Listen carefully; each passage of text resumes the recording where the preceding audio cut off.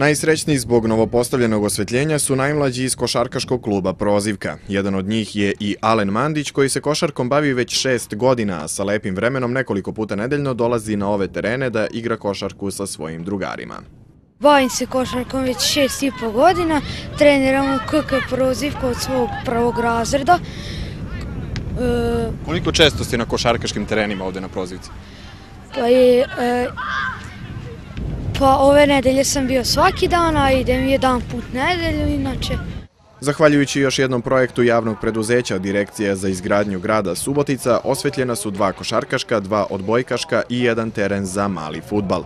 Na košarkaške terene su postavljena dva gvozdana stuba visine 9 metara sa ukupno 8 reflektora snage 250 vati. Na odbojkaške terene dva stuba sa 4 reflektora iste snage, a teren za mali futbal je osvetljen sa 8 reflektora snage 250 vati koji su postavljeni na 4 gvozdena stuba visine 9 metara.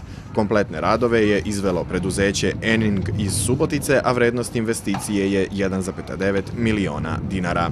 Prošle godine, znači, osvetljen teren u Sonja Varenković, jednim delom Lazar Nešić i čini mi se škola na Majšanskom ovaj putu. Otprilike tu negde vrednost isto rade oko 2 miliona dinara.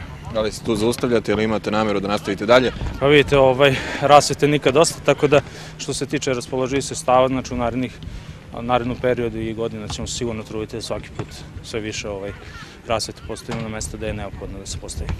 Povodom puštanja u rad osvetljenja na sportskim terenima koji će omogućiti mladima i onima koji se tako osjećaju da igraju basket, mali futbal ili odbojku tokom leta i noći, organizovan je i mini turnir u basketu. Učestvovale su ekipe lokalne samuprave grada Subotica, javnog preduzeća Direkcije za izgradnju grada, mesne zajednice Prozivka i subotičkih medija reflektori su već u upotrebi neko vreme, sada je bila prilika da skrenemo pažnju da upoznamo zapravo grad sa tom aktivnošću koja je vrlo značajna jer postoji jedna tradicija na proziciju, a to je da se mladi, pogotovo u toplim danima, okupljaju na otvorenom prostoru.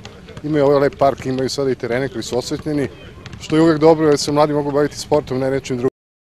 U direkciji planiraju da tokom leta popularno nazvano brdo na prozivci osposobe za potrebe najmlađih u toku zime. Planira se vađenje svih oštrih delova iz tog brda, ozelenjavanje, a tokom zime sankanje na radost najmlađih.